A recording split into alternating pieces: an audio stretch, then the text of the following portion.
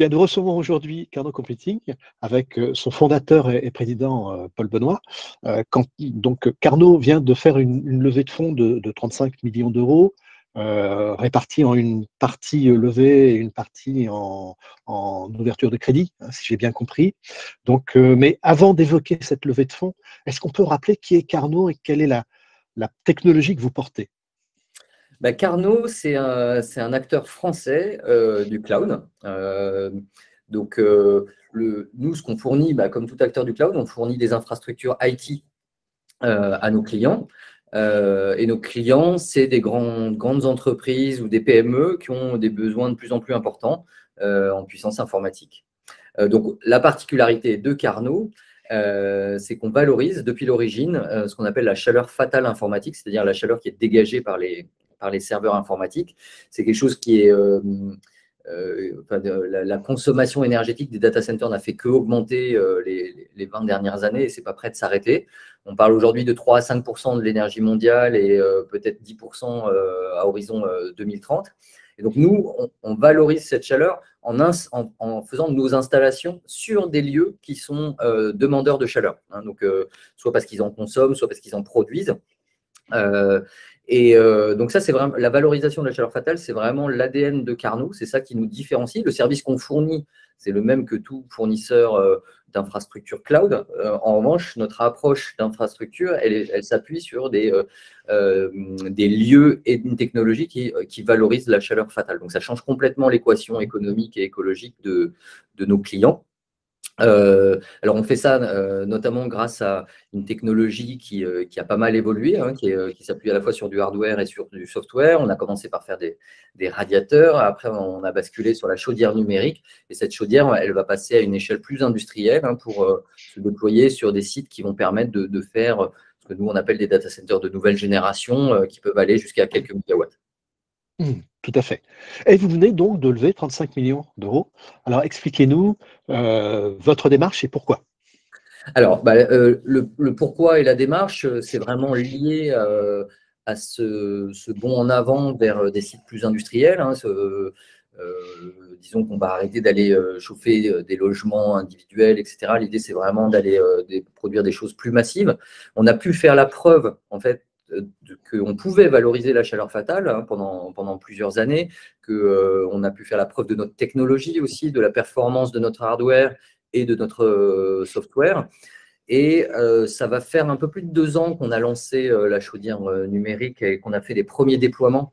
donc, on a fait des déploiements en France et puis aussi en Finlande, où on a fait un site expérimental euh, qui fait un peu plus de 100 kW euh, aujourd'hui, euh, qui injecte directement la chaleur de ces modules, donc qui embarque les serveurs informatiques, dans un réseau de chaleur, hein, donc dans une ville en Finlande qui s'appelle Kankampa. et qui est utilisé à distance par un grand groupe bancaire français, hein, la Société Générale pour ne pas la, nommer.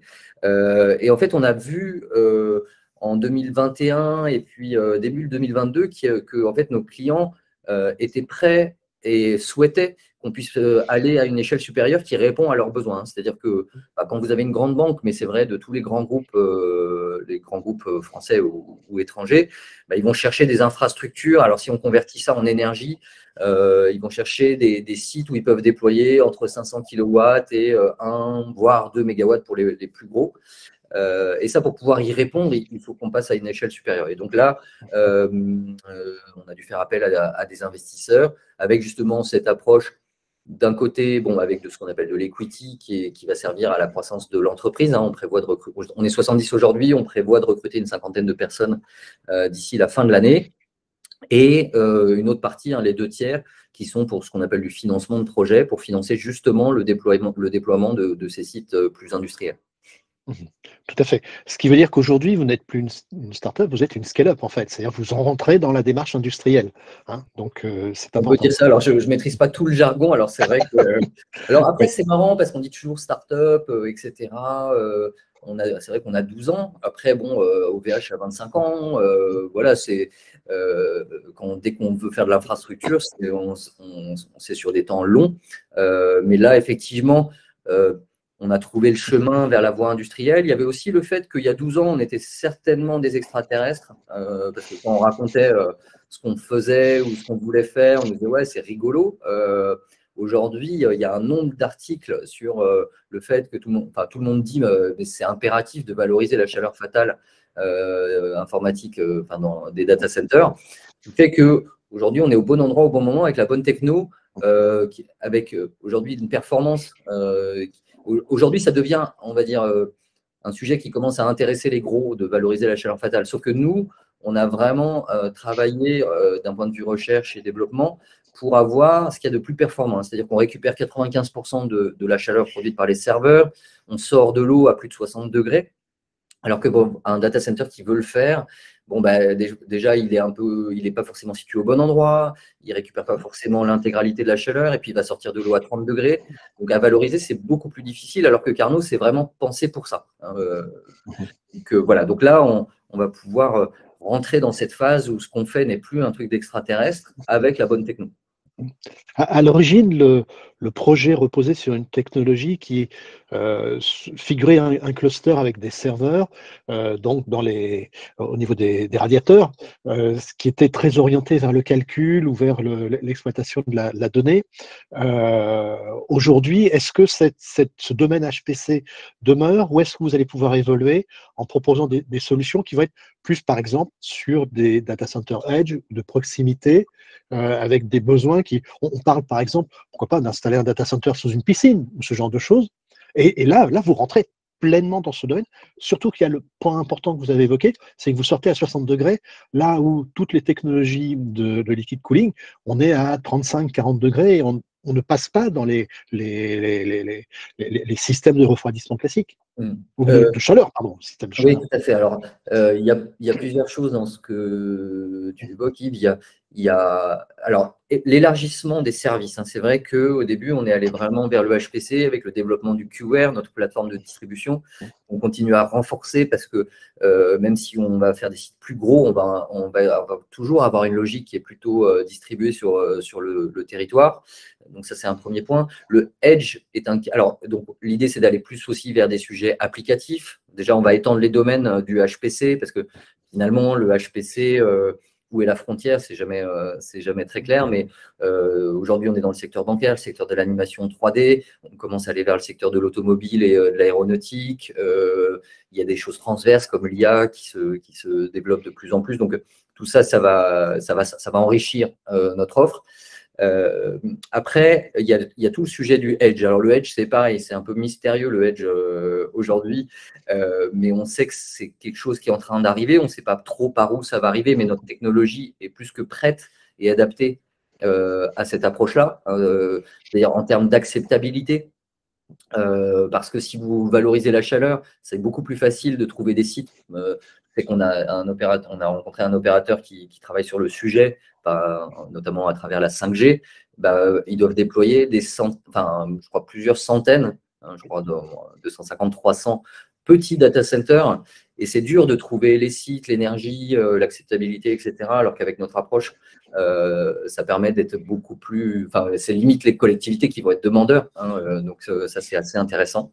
Voilà. Et nous, notre focus, il est vraiment sur la performance. Hein, à la fois informatique avec euh, le choix de l'OCP hein, qui a été euh, assez fort, euh, et puis aussi sur les indicateurs les indicateurs clés. Hein. Alors, comme on est dans Data Center Magazine, je, je, je vais évoquer des noms barbares. Hein. Donc, historiquement, c'est le PUE. donc, PUE, une moyenne qui est toujours à 1,53 dans l'industrie. On sait qu'il y en a qui font un super boulot, qui descendent à 1,1, 1,2. Alors, avec un sujet qui a émergé quand même, parce qu'il n'y a pas toujours de mystère, c'est euh, la consommation d'eau, euh, euh, où il y a des, enfin, ce qu'on appelle le WE, hein, le Water Usage Effectiveness. Et puis, nous, on travaille sur l'ERE, hein, la récupération d'énergie, hein, Energy Reuse Efficiency. Nous, vraiment, voilà, le, but, c'est d'être sur un PUE qui est quasiment égal à 1, puisqu'on n'utilise pas de climatisation, on récupère la chaleur. Un WE de 0, parce que l'eau, on ne la consomme pas. On, la chauffe, mais on ne la consomme pas. Euh, et puis un ERE, alors euh, nous, le plus faible possible. Alors l'ERE, plus il est faible, plus ça fait qu'on utilise la chaleur. Hein, c'est un concept un peu à l'envers. Enfin, c'est comme un, un, PUE amélioré. Donc, même, on va se battre pour que l'ERE soit le, le new PUE. Hein, c'est-à-dire que voilà, on, on pense qu'il devrait y avoir un indicateur qui, qui synthétise PUE, WUE, ERE. mais nous, l'idée aujourd'hui, on a des performances inégalées sur, sur ça. On monte un, sur des, des PUE en dessous de 1,05 avec euh, des ERE de, de l'ordre de 0,1. Euh, donc, euh, c'est ça qu'on veut maintenir et surtout pouvoir le maintenir en, passant à une échelle plus grande. C'est le challenge, il est là. Tout à fait. deux, questions maintenant, et puis on va arriver au, terme de notre entretien. la, première, tu, as évoqué le, le, PIE, le RE, WE. une des problématiques du PIE, c'est que la récupération de la chaleur fatale n'est pas intégrée alors qu'en théorie, elle devrait être un plus qui permet d'avoir un, PE plus efficace ou, de réduire encore le PE. Est-ce qu'il ne faut pas changer quand même euh, euh, la façon à laquelle on, pense et on réfléchit à la, mesure donc de ces, tu l'as en partie évoqué, mais euh, à la façon à laquelle on mesure l'efficacité du, data center? Bah, Oui, nous, on pense vraiment qu'il faut aller plus loin que le, le, PUE.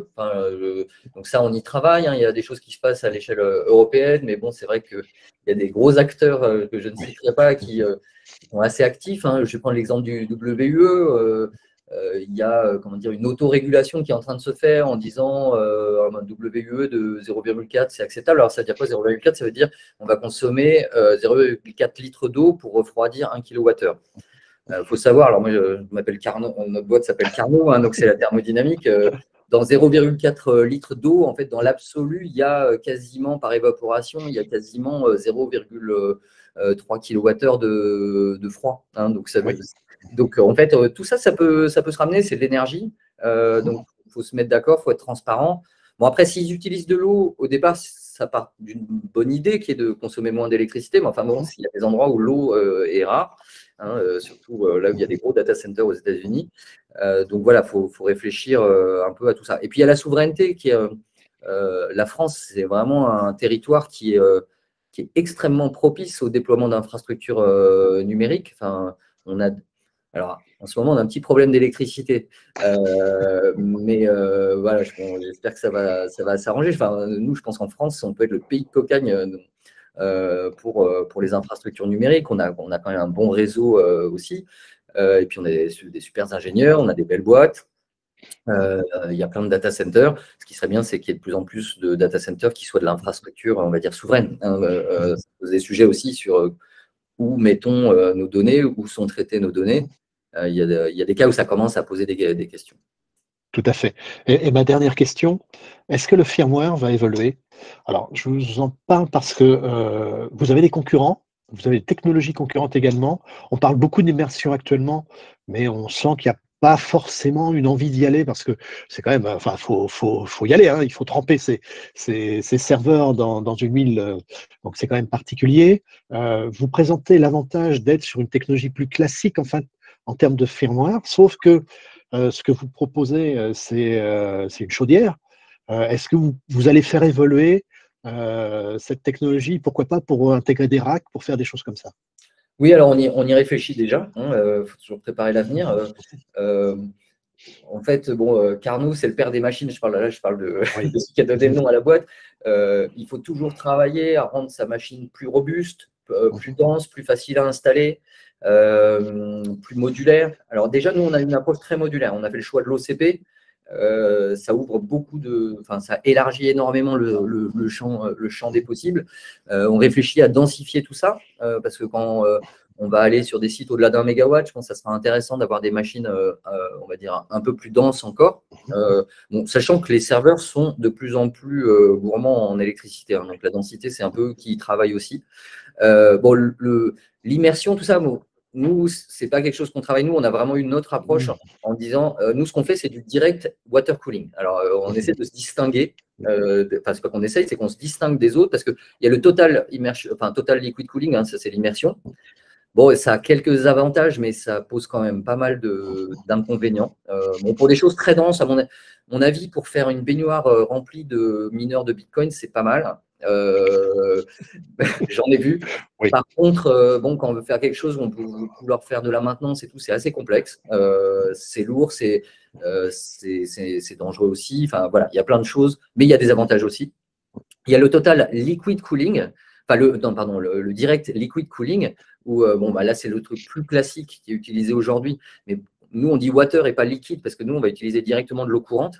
Avec des tuyaux de 2 cm.